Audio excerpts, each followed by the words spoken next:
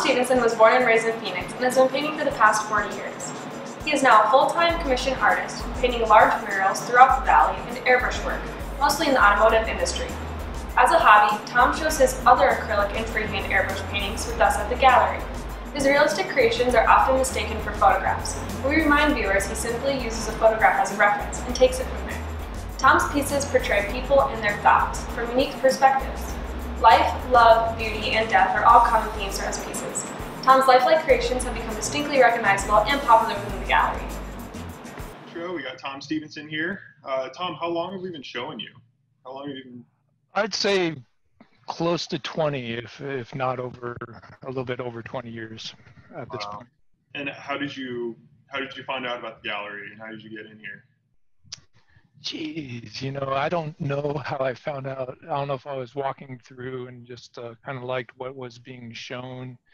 And after meeting Craig, you know, it's like uh, just his his outlook on life and what he does, you know, with his profits and everything like that. I I I really I thought that was you know perfect for me. He's so easygoing compared to the last gallery I had, and I don't really show a lot in galleries.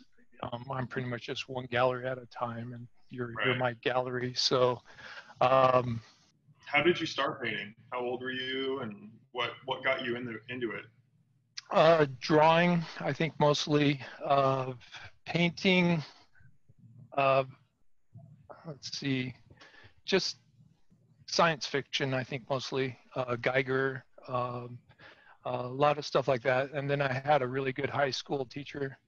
I think I was always taking art classes and really enjoyed it throughout the elementary school. And then in high school, I had a, a fantastic uh, art teacher who just kind of let us kind of do whatever we wanted and saw that um, how each student was um, devoted to, to our work. And so um, he kind of uh, directed or he didn't you know say do this. It was just he he pushed um, me along and thus i just kind of kept doing doing it and doing it because yeah there's something inside me that just makes me want to keep going. Was it was it in high school that you decided that you wanted to pursue art or was it after or?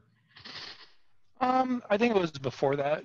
Or before? i think but that that teacher yeah it was I think uh, to make a career out of it, I don't think I ever knew that I wanted to do that. It's just I always did something with the art, drawing Yeah. or, or painting. But yeah, but I think in the high school, it was uh, when I got into airbrushing and applying uh, the paints uh, that that I did one painting, or I did a, you know a lot of paintings, but one that just really stood out and and I realized at that point that you know this is kind of what I wanted to keep going on or Mhm. that direction. So yeah.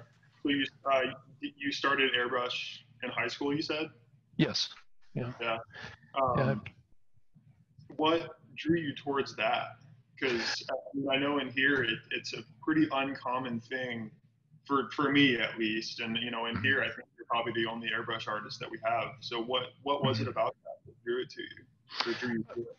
Just uh, certain artists that were out there, uh, Philip Castle, um, Jim Burns, and uh, Giger. Uh, I think uh, seeing all their work kind of set, uh, direct me to it because it was I, I always like really clean uh, work and um, very photorealistic, which is what I like, and so. Right. Um, stuff is definitely definitely photorealistic. yeah. It's great. What other mediums did you work with or do you work with besides Oh. airbrush? yeah oil you know i did a lot of oils um uh, earlier in my when i had a lot of time on my hands i would do oil um now it's just i have an idea and the quickest way for me to get the idea out and to uh, move on to the next idea uh, sometimes i just don't have patience to to sit so long on one painting.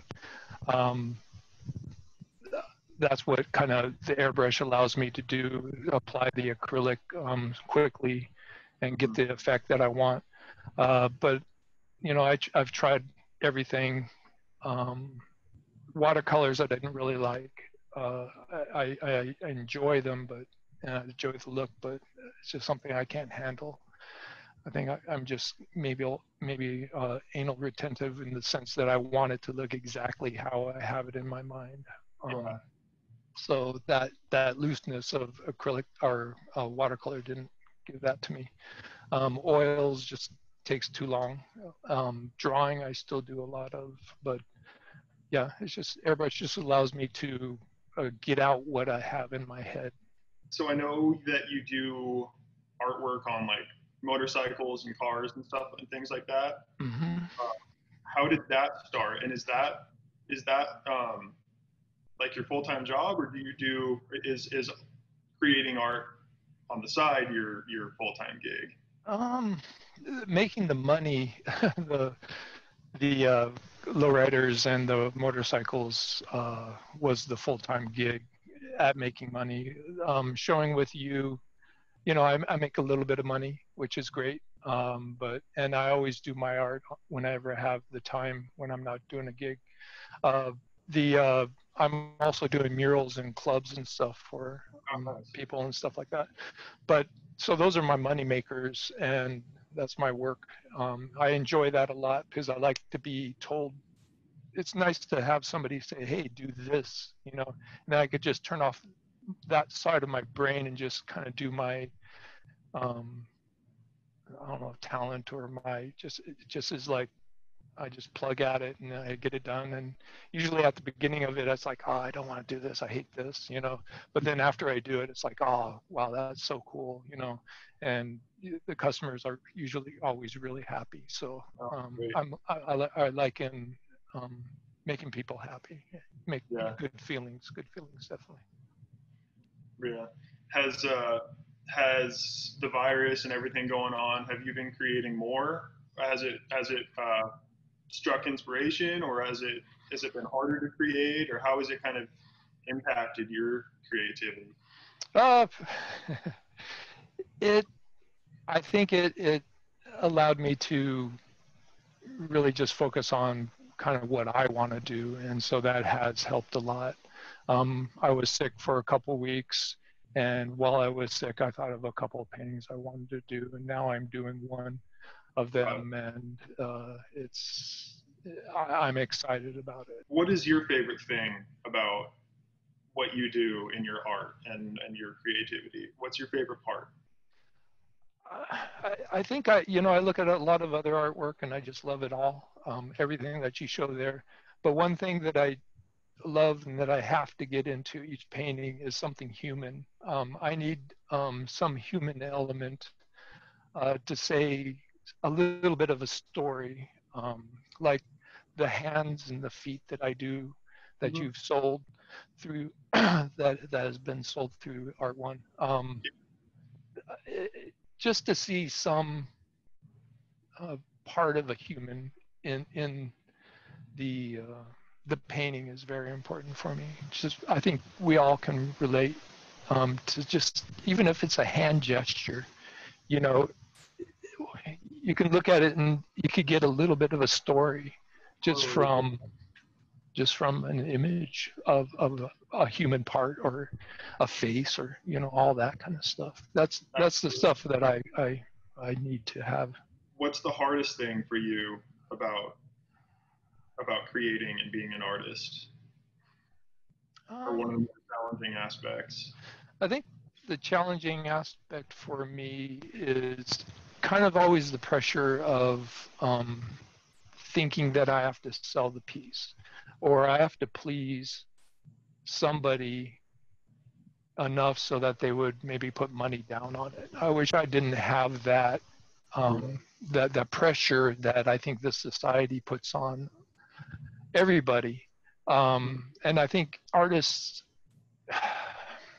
feel it more in a way because maybe it's a self-worth thing. It's like, um, am I worthy in this society to do this thing that doesn't pay any money? You know, I think this society puts so much pressure on being able to make a certain amount of money.